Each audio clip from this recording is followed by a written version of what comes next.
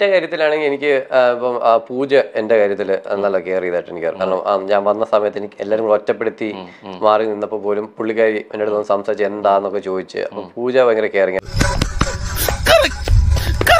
ബാക്കി പറ. അല്ല ആ പൂച്ചയുടെ കാര്യം പറയുമ്പോൾ അടുത്തൊരു ലെവലിലോട്ട് പോയായിരുന്നു. കല്യാണാലോചന വരെ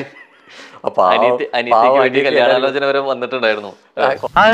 പന്നി ഇപ്പൊ പിന്നീട് വരെ അവസരം കിട്ടിയില്ലെങ്കിൽ ഓഹോ അപ്പോൾ അങ്ങനെ ഒരു സംഭവം ഉണ്ടായിരുന്നല്ലേ? അതാണോ ഇപ്പൊ ഇവിടത്തെ പ്രശ്നം. അതെ ഭഗവാനി ഞാൻ മാറ്റിനെ പോയി.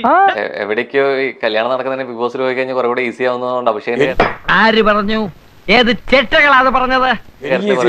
അല്ലേ? കൊറേ പേരെ കല്യാണം മുടങ്ങിന്ന് മനസ്സിലായി.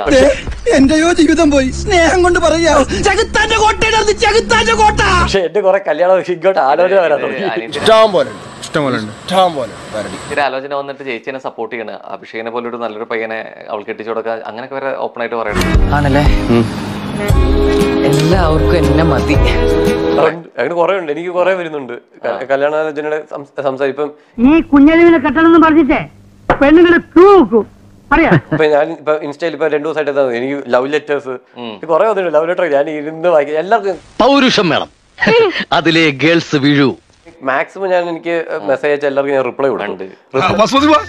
നിങ്ങൾ റിപ്ലൈ കൊടുക്കും. എല്ലാവർക്കും താങ്ക് യു ഞാൻ ഇരുന്ന് അയക്കുക വായിക്കുക അപ്പൊ ചിലര് ഒന്നോ രണ്ടോ മെസ്സേജ് ചെറിയ മെസ്സേജ് അയച്ച് ഹായ് ഹലോ അതിനൊന്നുമില്ല. എന്റെ എന്റെ ഞാൻ എന്താ കാക്കാനല്ല?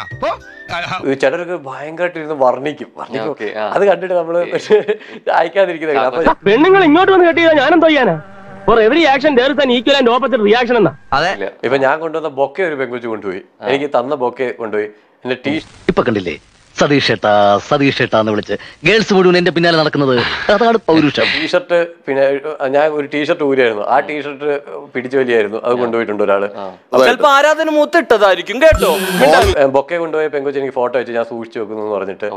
പിന്നെ ഒരു പെങ്കൊച്ച് എനിക്ക് ലവ് ലെറ്റേഴ്സ് അയച്ചു. പിന്നെ ഇതിനൊക്കെ ഒരു വൈഭവം വേണം. യോഗവും പക്ഷെ ഫ്രണ്ട്സ് വഴിയൊക്കെ പിന്നെ കണക്ട് ചെയ്ത് കുറെ പേര് വന്ന് ഒന്ന് മെസ്സേജ് അയക്കാൻ പറ എനിക്ക് ഭയങ്കര ഇഷ്ടമാണെന്നൊക്കെ പറഞ്ഞു പിന്നെ ഞാൻ അത് താങ്ക് യു എന്നൊക്കെ പറഞ്ഞ് അങ്ങനെയൊക്കെ വിട്ടുകളയും. എന്റെ കയ്യിൽ എങ്ങനെ ആയിരിക്കണം? ഭയങ്കരമായ ആൾ. അതെങ്ങനെയാ? കർത്താവ് അടിയുള്ളവനെ കൊണ്ട് അറിയാൻ പറയില്ലല്ല.